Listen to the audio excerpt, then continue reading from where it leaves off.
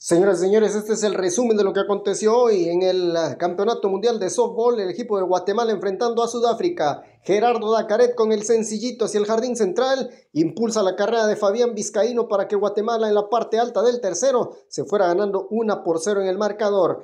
Parte alta del cuarto episodio, Mari Hernández a la caja de bateo. El eh, swing tremendo para mandar la pelota hasta allá, lejos, lejos, lejos, lejos.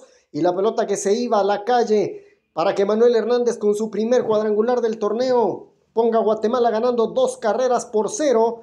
En el cuarto episodio, tremendo tablazo festejándolo con su mamá que está de cumpleaños.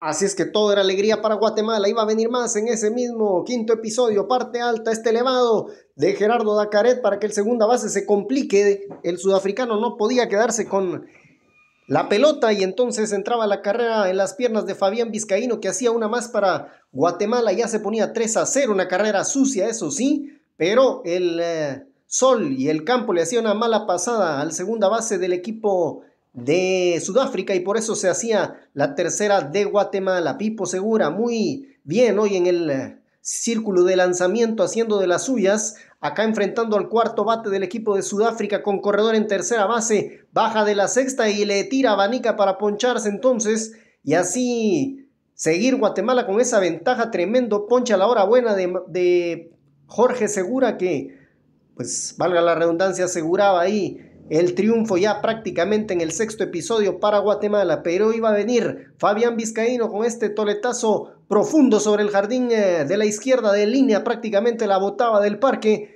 Y así es como Guatemala se ponía ya a ganar cuatro carreras por cero con ese cuadrangular solitario del hombre del partido. Hizo tres carreras hoy, conectó un cuadrangular, así es que Fabián Vizcaíno fue el hombre más importante a la ofensiva para Guatemala y aquí festejando con todos en el Ingreso después de hacer la carrera. Última entrada ya, parte baja del séptimo episodio. Cairo Moetti en la caja de bateo y Jorge Segura que quería terminar la faena con un ponche y así lo iba a hacer en cuenta de 2 y 2. Lo deja con la carabina al hombro y es que no pudo hacer nada prácticamente la batería de Sudáfrica. Un hit le conectaron nada más a Jorge Segura. Así es que la primera victoria del torneo es para Guatemala. Le ganó 4 por 0 al equipo de Sudáfrica.